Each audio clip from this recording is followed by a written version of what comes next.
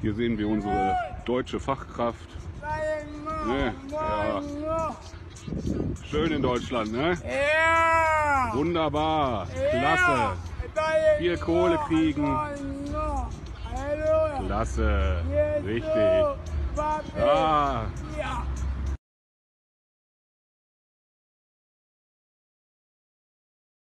Zum ersten Mal hat Lina heute ihren Peiniger wieder getroffen. Vor einem halben Jahr ist sie nur knapp einer Vergewaltigung entgangen. In ihrem Handy hat sie noch Fotos davon, wie sie nach dem Angriff aussah. Aber sie will kämpfen und sich nicht verstecken.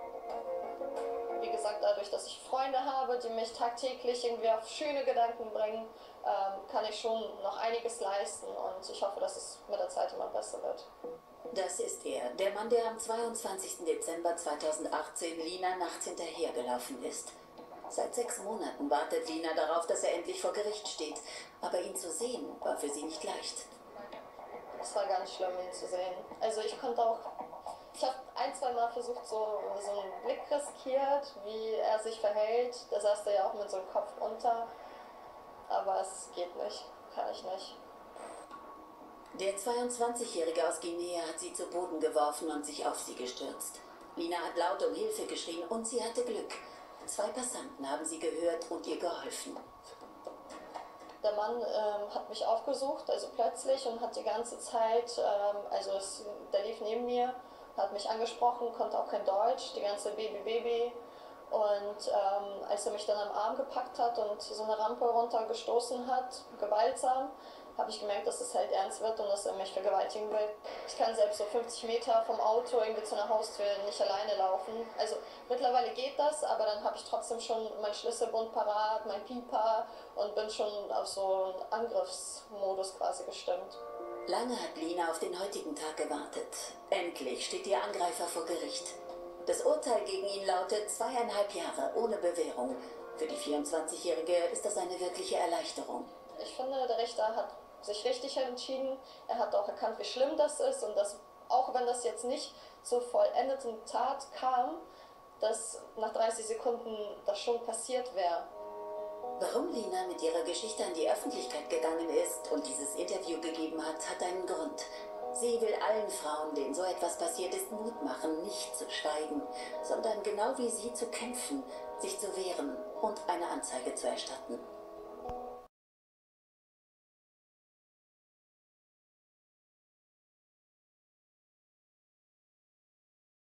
Auf diesem Spielplatz in Köthen sollen die beiden Afghanen mit einem Landsmann gestritten haben. Dabei ging es um die Schwangerschaft einer jungen Frau.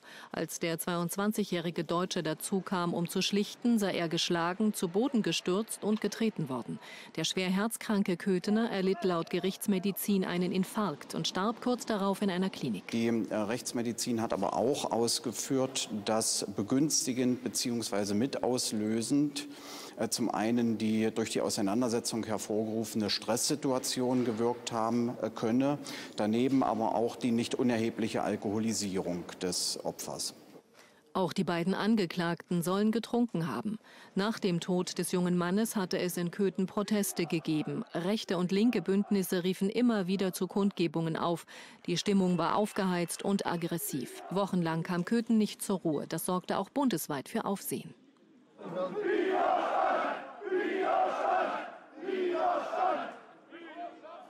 Stadt, Kirchen und Land setzten dagegen mit eigenen Veranstaltungen gegen Rassismus für Weltoffenheit. Erst nach Wochen beruhigte sich die Situation. Heute nun ist am Landgericht Dessau-Roßlau der Prozess zu Ende gegangen. Ja, und vor Ort im Landgericht in Dessau ist jetzt mein Kollege Hanno Neustadt. Hanno, eben wurde das Urteil gesprochen. Wie fällt das Strafmaß aus? Die beiden 17 und 19 Jahre alten Afghanen müssen wegen Körperverletzungen mit Todesfolge ein Jahr und fünf Monate beziehungsweise ein Jahr und acht Monate in Jugendhaft. Das sind Strafen im Bewährungsbereich. Einer der beiden Angeklagten aber, der dem Alkohol verfallen ist, der muss zunächst erstmal in einer Entziehungsanstalt. So lautet hier der Richterspruch des Landgerichts Dessau. Mhm. Wie war denn die Stimmung da im Gerichtssaal, als das Urteil dann verkündet wurde?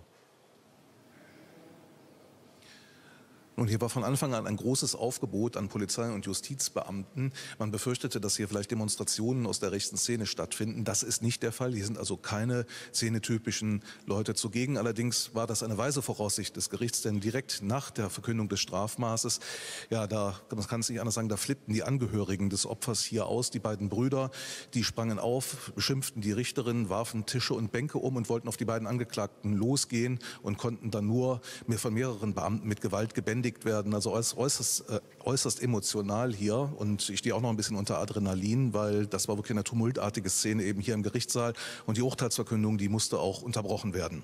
Das kann man nachvollziehen. Noch sind die Türen ja des Gerichtssaals geschlossen. Die Richter, die begründen, glaube ich, immer noch ihre Urteile. Was konntest du da bislang zur Begründung raushören? Nun, ein Vor eine vorsätzliche Tat, die stand hier von Anfang an nicht im Raume. Das heißt, Mord oder Totschlag, die erfordern einen Vorsatz, der konnte hier nicht festgestellt werden. Ja, und dass man den Tod des Opfers, des 22-jährigen Markus B. in Kauf nahm, das konnte anhand eines medizinischen Gutachtens auch nicht festgestellt werden, weil niemand konnte ahnen, dass der Mann eben einen Herzfehler hatte, der in dieser Situation zum Tod führte. Dementsprechend war das Urteil hier folgerichtig und die Urteilsbegründung, die wird jetzt gleich erst fortgesetzt nach diesen tumultartigen Szenen hier eben. Du wirst das weiter für uns beobachten. Hanno Neustadt war das live aus Dessau. Ganz herzlichen Dank.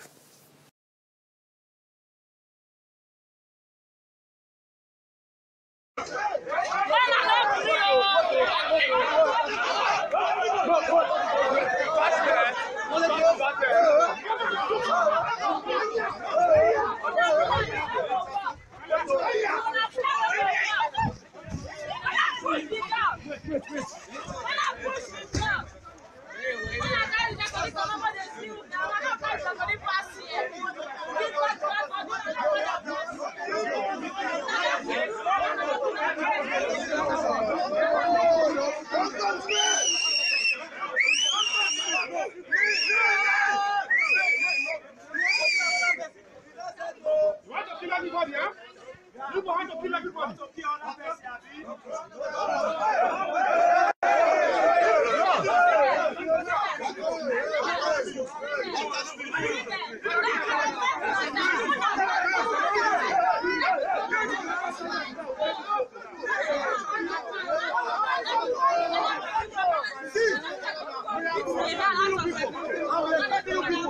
You supposed to respect your uniform. Backfire, killer. Backfire, killer. Backfire, killer. Bonfires! Uh, we still repeat! Uh, Weekend zones! You people are evil people, all of you. Evil, look at them.